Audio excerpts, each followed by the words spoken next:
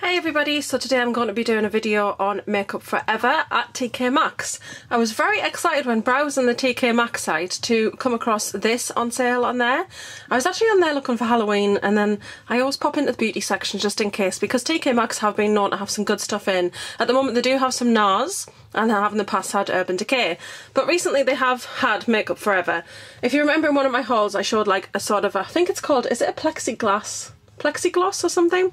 Anyway, I got one of those because it was the only thing they had on show. On the website they had one of these palettes. Now this was $16.99 which was totally amazing and it did have a code for free delivery but I think that's expired now. But very very excited to get my hands on this palette.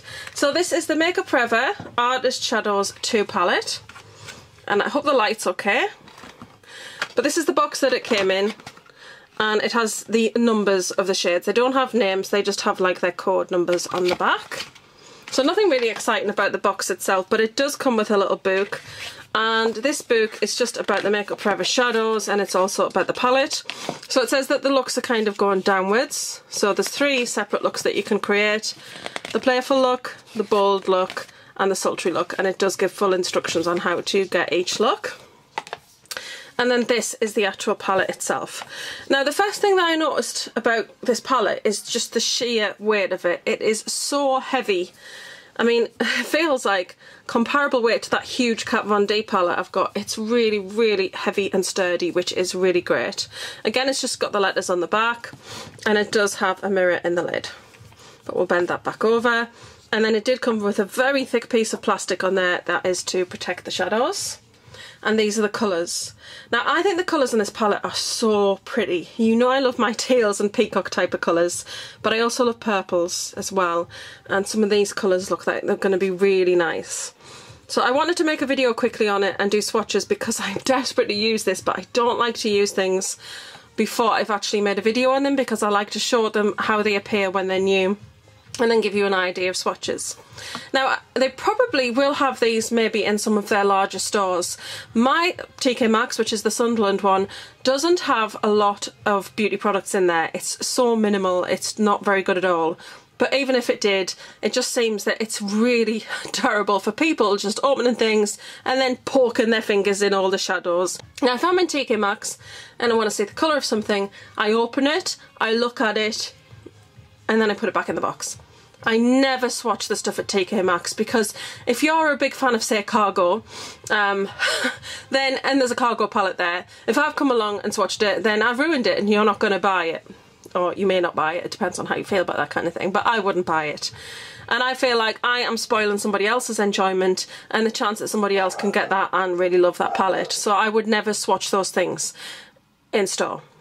Not unless it's a tester, so, which TK Maxx obviously don't do. So I just prefer to get this online just because I know I'm going to get it, it's going to come and there's nothing going to be swatched in it. So I might look in stores and see if they've got them but I think if these are in stores these are going to fly out really fast. So I'm not going to say the names of the shades. I will take a photograph of the back of the palette which does have the shades on it and I'll insert that at the end of the video just in case you do already have some Makeup Forever shadows and you might want to see if you've got any of the ones that are in this palette. But let's get to doing some swatching. Right, so I'm going to swatch these the way they are in the palette and I'm going to do it on the back of my hand so I'm just going to do the nine as they are here. And I have used the Urban Decay Primer Potion. This is just one of the little ones that you get like with palettes and stuff. They don't tend to do these very much now. I think it's because basically they last such a long time and I think it was just kind of a case where people were getting these with their palettes and then not buying them full size. So, oh, they feel very buttery to the touch. That's those three shades there. There they are. Really pretty. So those are your highlight sort of shades. So we've got a nice soft pink, a champagne sort of colour, and then a gold, but it's not too yellow, so that's okay. Really, really pretty. There's that pink. It's got a lovely shimmery quality to it. It's really pretty. It's a gorgeous colour. So I'm really happy with that.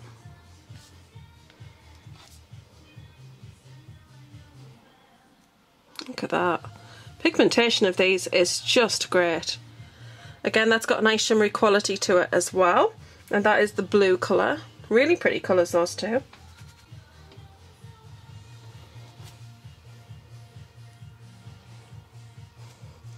Right, this is kind of a bronzy shade, which I'm excited about because I was a bit worried it might come a bit yellowy, but it doesn't.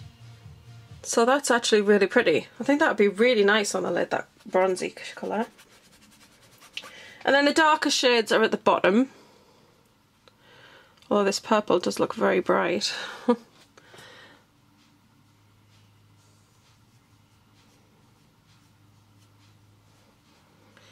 Purple is gorgeous. It's really, really vibrant. Oh, this is pretty.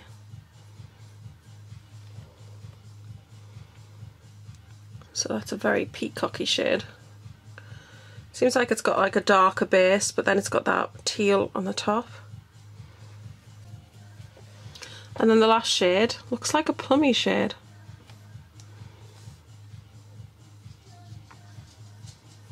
Yeah, this is a very dark based purple, like plum shade.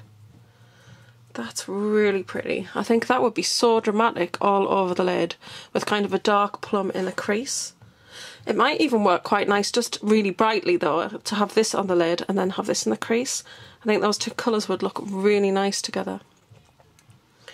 But those are the nine shades in this palette. As you can see, I just rubbed the brush in and then put it on. I've done swatches this time with primer, just with primer, because to be fair, I know I sometimes do them with and without primer, but I would never wear an eyeshadow without primer. Just helps it last longer, and it just helps it be more even on the lid. So if you have oiliness or patchiness or any kind of thing on the lid, just a primer helps it go on so much more smoothly. But these are beautiful. Those highlight shades are gorgeous. And then really really pretty. So I can't wait to do some looks with this. And I hope you've enjoyed this video. Go and check out your TK Maxx or check out TK Maxx online. This is still in stock. They do have some other Makeup Forever items on there so if you're interested you can also check those out. And thank you very much for watching as always. Don't forget to like share comment and subscribe I can't speak. Subscribe. I'm gonna love and leave you and see you all soon. Hope you're having a great day wherever you are and whatever you are doing. Bye guys